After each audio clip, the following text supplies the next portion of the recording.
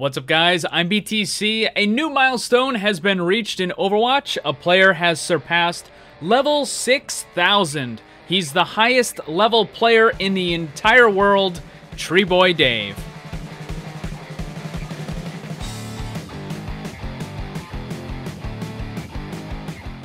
All right, guys, so here with me today is Tree Boy Dave. He is the highest level player in the entire world. And even second place is still quite a bit behind him, and most of the other competition is hundreds or thousands of levels behind him. So I gotta ask you, did you start out with trying to be the highest level in the world as a goal, or is it something that just kind of happened? Well, I never really set out to be the highest level. I'd already always been good at leveling up in games and playing them a lot. Um, I never expected to be the highest. Um, it's just something that just did just happen on its own. I've been setting myself goals for playtime and uh, on various heroes, and uh, it just happened that way. But now that you're basically king of the pile, king of the hill, uh, do you plan on staying there for the foreseeable future? I don't have any plans to stay there, but I probably will for at least a year by the looks of it. If someone else ends up overtaking me, that's fine because highest level is not something I ever planned for. And it's okay if someone else takes it off me. And how many hours a day do you end up playing? Um, well, I stream for nine hours a day and it's Overwatch every day. So it's nine hours minimum of Overwatch every day, um, but it can go up to about 16 hours if I've got a whole day off. So nine hours a day is full work day, essentially. But in addition to streaming, you also have a job. So what does your normal day look like? Well, I work in the morning, uh, four or five days a week. Go in, do my work, come back home. It's the kind of job that I can just do and go home when I'm done. So if I get it done quickly, I can go home earlier, or if I'm having a slower day for one reason or another, it takes a bit longer. But I'm always done in good time to give myself a bit of a break between work and streaming. And then uh, stream for pretty much the rest of the day. And then an hour after my stream, I go to bed. So I've got an hour in between work and in between stream and bed. So I get some time to do the usual stuff like watching shows or YouTubes or anything like that. Eating. Yeah, eating. Yeah, that's always important. So do you only play during the live stream or do you play off live stream as well sometimes? Yeah, I'll play off live stream as well because uh, it's nice just to sit and relax and play the game without having to worry about responding to everyone in chat and uh, talking with the community and that sort of thing. I tend to just put myself in offline mode and zone out. Yeah, I certainly understand where you're coming from because there's a need to kind of be entertaining when you're live streaming and certainly sometimes you just don't want to have to deal with it. You just want to be able to play and just focus on what you're doing. Do you ever get just burnt out or bored with the game? No, never have. I understand a lot of people do. I just don't. Um, not sure what it is exactly, but I never really felt the need to stop playing for any reason. I have had breaks occasionally. I went to London for a week at the around the uh, start of the year um, to spend time with a friend who came down from Denmark, and um, I think I only played about three games in the entire week. So, yeah, I have no problem dropping Overwatch whenever something else comes up, you know? But it's the only game you play. You don't bother with any of the other stuff. Paladins, Fortnite. No, no. Paladins, I tried Paladins for a little bit one day, and it just struck me as a sort of budget version of Overwatch. It, um, it played very similar, but the visuals and the general sort of gameplay were less polished than Overwatch. That's that's the impression I got. Um, as for Fortnite and PUBG and that sort of thing, I'm not really interested in battle royale games. They don't appeal to me.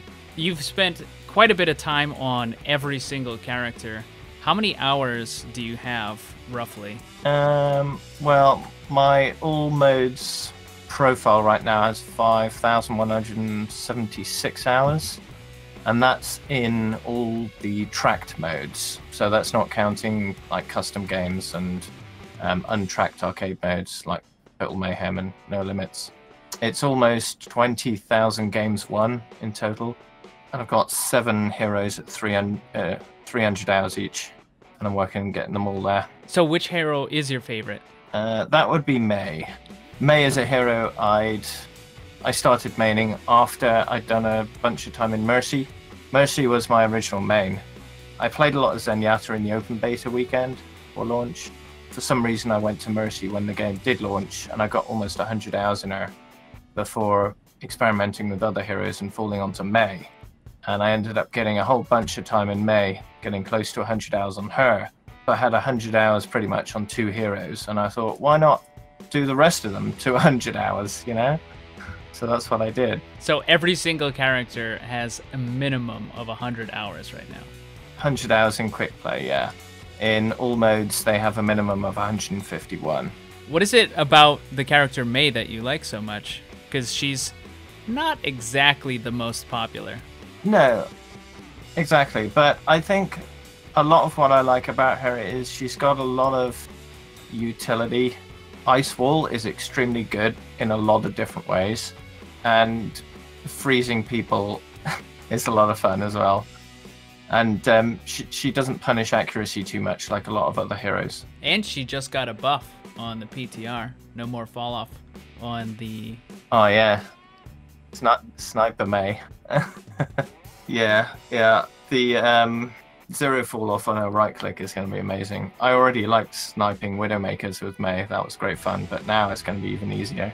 So I notice you play a tremendous amount of quick play, but is that your favorite game mode, or is it primarily just because it tends to give more XP than the rest? Uh, well, quick play is the probably easiest way of getting quick matches. Um, a lot of the arcade modes have longer queue times, and I'm not a big fan of competitive, so I just stick to quick play for the most part.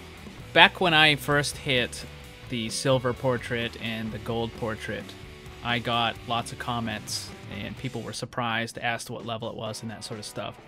I can only imagine that you get even more reactions when people see your incredibly bright, shiny, platinum, multi star border. How often does it get commented on, and what's the kind of ratio between good and bad? Because I know there tends to be a bunch of bad reaction to seeing the big portraits as well. Um, well, it's something I've gotten used to since the beginning, in fact. I remember when I first started playing Overwatch uh, and got my first star, there are a lot of people asking how I got a star on my portrait, right? I don't know if you remember those days, but um, it's it's been quite interesting. Um, as I've been going higher and higher in the portraits, a lot of people trying to guess my level, most of them getting it wrong because they they forget one thing or another. There are good comments and there are bad comments, and I'm, I'm not the person to let the bad comments get me down or anything. Um, I'm very um, hard to offend, and I take everything in my stride pretty much. So I usually combat the bad comments with humor because that's the best way of doing it, in my opinion. And uh, yeah, I, I find the since the endorsement system came in, there are a lot less bad comments, which can only be a good thing, in my opinion. I always thought it was kind of odd. If someone, for example, plays basketball a lot, you wouldn't expect them to just suddenly get drafted into the NBA. But if someone plays a particular video game, there's this assumption that they must be the best in the world just because they play it. And it never really kind of matches up. Like the top 500 players are, you know, an incredibly, incredibly small fraction of the player base. And it takes a tremendous amount of skill to get there. And to assume that, well, you're just going to automatically get there is kind of like assuming you automatically get into the NBA. And I just never understood that. And a lot of the the kind of insults I see, like, oh, because you're high level, and you don't have a certain threshold on a rank, then, you know, therefore you must be bad. It just seems to me like it's kind of the lazy insult, right? Like it's the low hanging fruit you don't have anything better to say, so you just kind of do that. Yeah, I've I've encountered that a lot. Uh, it's one of the reasons I avoid, avoid competitive because people take a look at my profile and say, "Oh, so high level and only this rank," you know. It strikes me that whatever rank I ended up getting, it wouldn't be good enough for a lot of people. So I, that's one of the reasons I quit comp quite early on. The last competitive season I took seriously was probably maybe season two. What was that? Beyblade or what? No, I think that was 50% Zenyatta Discord back then. Good times. Yeah, it's definitely different things for different people. I tend to like more of the competitive side, but I totally understand that someone like you would just want to play and have fun, and that's your goal, not necessarily to to climb the the ranks and all that sort of stuff, but to just enjoy your time. And I don't know why that seems to be a bad thing. Why someone can play a game, derive a lot of enjoyment from it, and it somehow looked as if it's, you know, negative. The highest border in the game right now is platinum, and I believe it's 2400. So you are way, way past 2400. If they were to add new kinds of borders, what sort of stuff would you like to see? I don't know really. I mean, maximum border was something I got on the 10th of May last year. So I've had this portrait for what is it? 14 months now. so any any new border would be fine with me at this point because it would be a change to a border that I've had for well over a year. It's interesting to think about. I do think about it every now and then. It's not something that's a priority for Blizzard, and it shouldn't be. There's only a few hundred people at most who've gone over the maximum border. That's not a huge amount of the player base. So I prefer Blizzard to work on stuff that benefits everyone heroes, maps, modes, skins, all that kind of thing. Um, but that being said, if they did make new borders, I would think that my border would look pretty insane right now because I, as I'm just over 6,000, that would put my border at the 11th border. And if it, if they're making it so it would be a natural progression, that each border looks better than the last one, I, uh, I don't know. What could they possibly do, really? I mean, after they like the the simple one, the obvious one is oh, they can go to diamond, but after diamond, like master is not an actual you know, it's not a thing, right? It's not like Yeah. bronze, silver, gold, plat, diamond, you know what I mean? But maybe they could add like elements. They could be like fire, air, water, earth, perhaps a tree-based portrait of some kind Yeah. with leaves and another. I'm thinking the uh, the new Orisa skin where it's kind of like the druid thing. I mean, there's several directions they can go with it. Um, one idea I had a while back was they could make gemstone borders, one for each letter in the word Overwatch, um, based on the starting letter of the gemstone. That would give them nine portraits, and that would be enough to keep me going for a little bit. Blown through most of those already if they did that. but, you know, it's a start. One alternative is taking the Diablo 3 route, which is instead of having the border directly linked to level, it's just unlocked with level, and then you can equip whichever one you want. That would allow them to create all kinds of different borders for different reasons. They could um, allow people to get the Overwatch League borders, or the World Cup borders, or character specific borders, maybe, or seasonal event borders. It could be a whole new category of unlocks.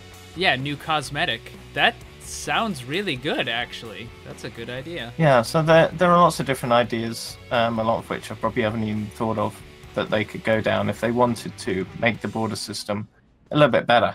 Or even design your own borders, give people the skills, the, the tools to make their own, like you can in Diablo 3 with banners. Now, one of the things that they just recently added was the ability to hide profiles. Do you think, because I've seen this recommended as well, the ability to just completely hide your border? Well, as I said, if they made it so you just unlocked the borders instead of um, them being directly tied to your level, that would solve two birds with one stone, right? You'd be able to equip whatever border you wanted, so you could avoid that unwanted attention if that's something that you wanted to do. But that that is something I hadn't thought of actually, the border aspect of things. Me myself, I'm happy keeping my profile public because I've worked hard on that thing. So I'm not going to hide it from the world. All right, so the last and arguably most important question. Now that we have a genetically enhanced, hyper intelligent hamster, should Jetpack Cat be the next hero? Um, if Jetpack Cat is Junker Queen, oh, that'd be perfect. I don't know about that, but we'll go with it.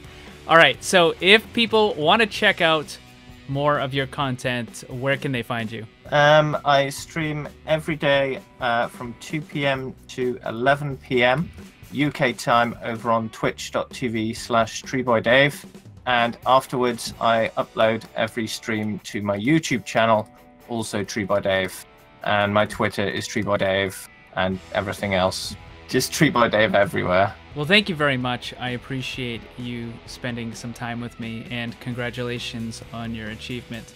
Hopefully, once you hit 10,000, Blizzard will have some sort of new portrait system in place. Oh, at least one. Thanks very much. Thanks for watching. Make sure to check out my Discord server. Follow me on Twitch and Twitter. The links for that stuff are down below. And remember, always, always blame the controller because it's never your fault. Also, special thanks to all my Patreon supporters for helping to make this all possible.